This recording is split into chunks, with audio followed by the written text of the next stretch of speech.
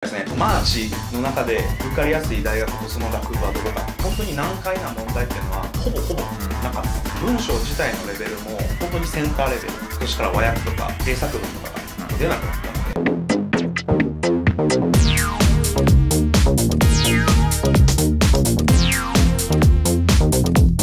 放題始まりました、松井チャンネル。さあ、今回はポイズン松本へおいでいただきましどうも。はい。ね、ベーシスからやってきたわけですね。まあ今、入会キャンペーンやってますんで。あそうですね、はいこの動画をまあ見てくださって期限としては7月末はい。までに、えーまあ、ベーシスに、ね、入会してくださった方にはなんと特別に森鉄師匠とうん さっきからずっと森鉄って呼び捨て 呼び捨てでしたけど。森鉄師匠に直接、まあ、オンラインでねこう相談はまあ、悩み事であったり、まあ、勉強のこと、まあ、何でもいいと思うんですけど相談に乗ってもらえるというキャンペーンをはいはい勝手ながらさせてもらってますい。ので、はい、わかりました。やりますんで、まあ、もちろん長時間じゃないですけど、ね、やってみてください。さあ、そんなポイズン松本、今回は一体どんな企画を持ってきたんですか？今回はですねマーチの中で受かりやすい大学とその学部はどこかもというところに関してお伝えしていければなと思ってます、まあ、まあそうですね。どうしてもマーチ行きたいって人いますからね。ベーシスの LINE でも相談が多いんですよ。いろんなチャンネルのせいでなんかマーチ以下の大学も全然ダメだみたいなねそういうイメージを持っちゃってる人がちょっとねね、マーチか F ランとか言ってる人もいますもんね。そんなことはないですからね本当に。そんなことはありませんが、まあ、どうしても行きたいと。そういう人にどこがおすすめなんですか？結論から言うと、はい。一番は中央大学文学部ですね文学部。はい。え。ー、なんでなんですか？でなんでかっていうと、まあ、理由としてはまあ大きく2つあって、はい。1つ目は長文の量がうん。他の大学とか主要の中の他の学部と比べてもやっぱりかなり少ないということあまあ割合的にってことですね、でもう一つがやっぱり試験時間ですね、はい。時間的にも余裕があるし、はい。あとは英文法であったり長文以外の英語で必要なまあ語彙力であったりとか、はいそういうところがかなり基礎的な内容こと足りるからってことうーです、んなんか文法とかすごい猫がミャオミャオ鳴いてましたけどさ大丈夫だちっちゃい子じゃないですか？猫ですか猫がめちゃめちゃ泣いてましたけどじゃあどうしても行きたいんだったら中国の文とあそうですね。はい。どういう風になってるのか具体的に教えてください。そうですね、まあ、まず2021年今年の問題について全体的なまあ概要をお伝えすると基本的には本当に難解な問題っていうのはほぼほぼうん。なかったと。なるほど。いうことが言えますね、うん。大問1から大問4まで全体通してこう難解な語彙であったり難解な英文法の知識とか英文解釈の知識とかっていうのが、まあほぼほぼ問われてないのでそこは非常にお勧めできるかなと思ってますね、うんうんうん。でやっぱり試験時間にも余裕があるんでしっかり落ち着いて基礎をしっかり身につけた上で落ち着いて取り組めば最低ラインの7割うん。70%というところは硬いんかなと。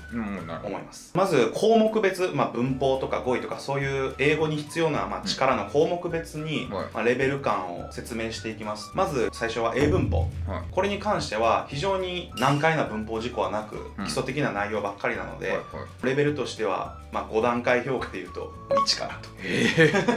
マーチマーチ1かなと、はい。はい。次は語彙力はい。に関して、まあ、語彙力って主に英単語とイディオムに分けられると思うんですけどまず結論から言うとレベル感としては、まあ、5段階中、まあ、3レベルぐらいというところでえちょっと高いなって思ったと思うんですけど英単語だけで言えばもう本当にレベル1か2ぐらいのえ基礎的な単語が多いんですが、まあ後からちょっと説明するんですけど大問2の正常問題とかで必要になってくるイディオムの知識っていうのが知ってないとこれもどうしようもないなみたいなものがあるのでレベル3に設定しました。なるほど。はい。で次に語法。これも英文法とほとんど近しいんですけどもレベル1かレベル2ぐらいかな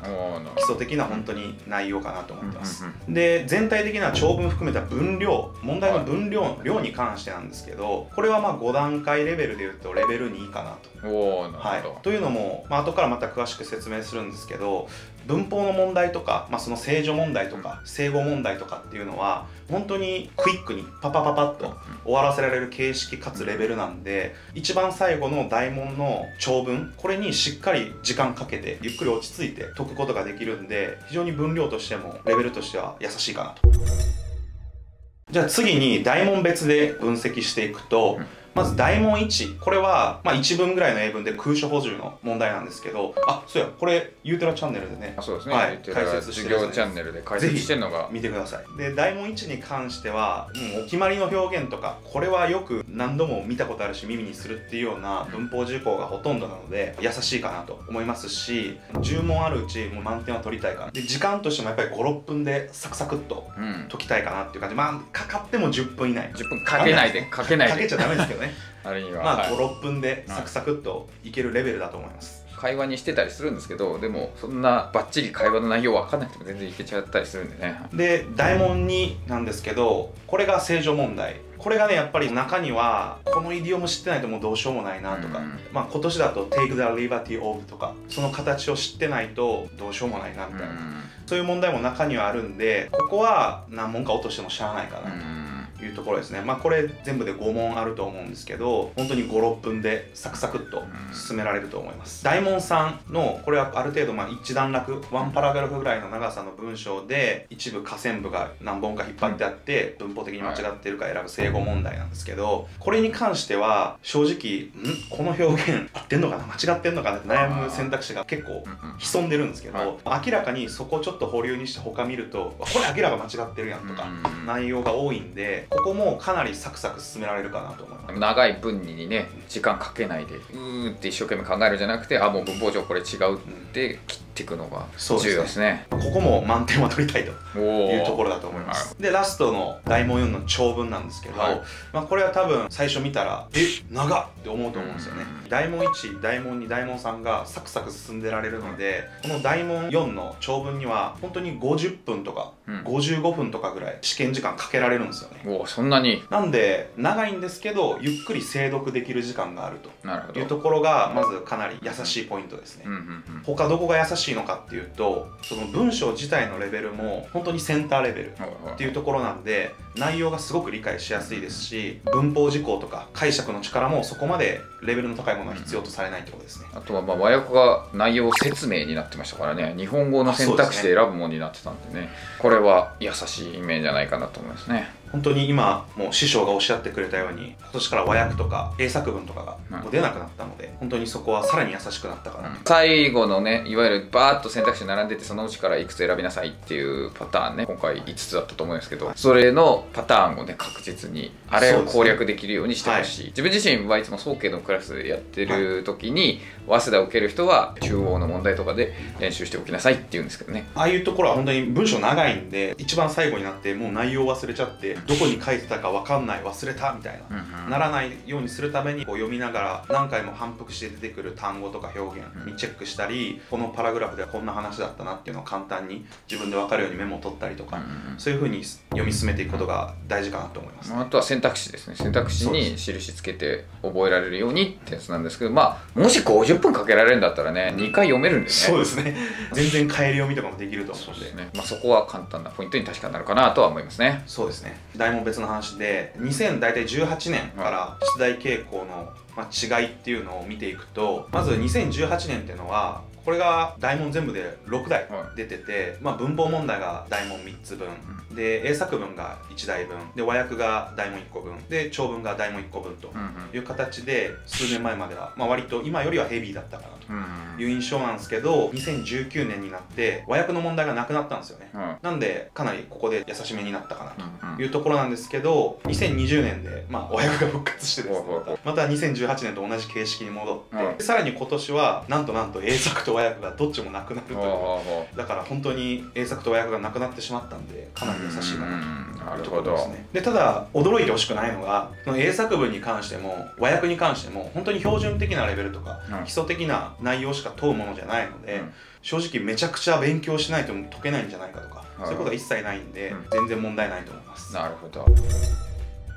じゃあ中央分かったんですけど他にもあるんですか？まあ、他は2つあります。お。中央文がもちろん一番おすすめなんですけど、はい。他はって言われるとまずは法政の T 日程ですね。おおなんでなんですか？某 YouTuber が法政なんて第一志望いないとかはい。言ってたとこですけど、まあ、僕は普通にいい大学だと思ってるんですが、はい。えー法政 T 日程は中央の文学部と比べると、まあ、どんな違いがあるのかとい。うところを、えーまず説明すると法政 T 日程は大問4つ分が全部長文問題なんですよ、はいはい。なんでやっぱり中央文と比べると長文しかないとうん。いう感じってところが違い。細かい部分を見ていくと主要文の場合は、まあ、さっきもちょろっと触れたように中には難しいイディオムとかもうどうしてもこれ知ってないとどうしようもないっていう内容が出てくるんですが、法政の場合はそういうのは逆に一切なくてほうほう。長文問題の内容理解をこう内容一致とか、そういう問題が多いっていうところですね、やっぱりその長文の問題をそのいかにこうスピーディーに読んで、え時間配分をうまくしてこう内容一致の問題をしっかり取っていけるかどうかってところが重要だと思います。読めるけど知識がないって人におすすめってことですね、そうですね。はい、まあ、決して優しい英文ではないですからね、うん。T にってって。そうですね、中央文の場合はゆっくり時間かけて精読が必要な一方で法制 T 日程の場合はスピーディーに内容をサクサク理解していく。うん。というところが、まあ、大きな違いかなと思いますね。なるほど。もう一つは明治の全学部なんです、でこれに関しては文法とか語彙レベルとかに関してはあんまり中央文とレベルとしては違いないん。ですけどただ単語のレベルはまあ若干高めかなと明治の方がっていうところですね。で明治には中にはその文脈からこの単語の意味ってどういう意味なんだろうっていうのを推測させるようなそういう問題も一部出ることがあるんで前後の文脈から単語の意味を推測するっていう力は中央文と比べると必要になってくるかもしれないですね。なるほど。で長文に関しては問題の難易度的には中央文とほとんど変わらないんですけどただ制限時間が明治の方が厳しいです。なんで結果的に効率的にスピーディーに読んで解き進めていかないといけないっていうところが明治の全学部には必要ですね、なるほど。で中央明治法政、まあ、これら全部総合して難易度的に言うと、まあ、やっぱり明治の全学部が一番、まあ、レベルとしては高いかなって感じで、なかなか知識問題が苦手だなっていう人は法政の T 日程の方が合ってると思うし逆にそういう長文がどうしても時間かかっちゃうんだよなとかいう人は中央の文の方がいいかなと思います。ということでじゃあ今回はどうしてもマーチに行きたいって人ですね、をどうしたらいいのかっていうポイントもスムーズに聞きました。はいありがとうございました今、ベーシスの公式 LINE に登録してもらうと、登録してくれた方全員に、偏差値30から偏差値60まで上がる勉強法のノウハウ集をプレゼントしてます。で、TOEIC 700、800点ぐらいまでも十分対応しているノウハウ集になってます。で、そこにね、個別のメッセージを送ってもらうと、僕が直接アドバイスしていきます。普段の動画ではですね、かなり毒舌かもしれないんですけど、LINE では優しく丁寧に対応します。で特に偏差値もう30代とか40代で、英語の成績が俺全然伸びないんだよ、私全然伸びないんだよっていう人とか、TOEIC でもうほんと400点、500点さえも取れない。でも700点、800点取りたいっていう人とか、英検もう全然3級も取れないとか、準2級取れないとか、まあ、そういうところでかなり悩んでる人ね、ぜひ相談ください。登録は QR コード、もしくは概要欄の ID、これで検索してもらうと出てきますので、それで登録よろしくお願いします。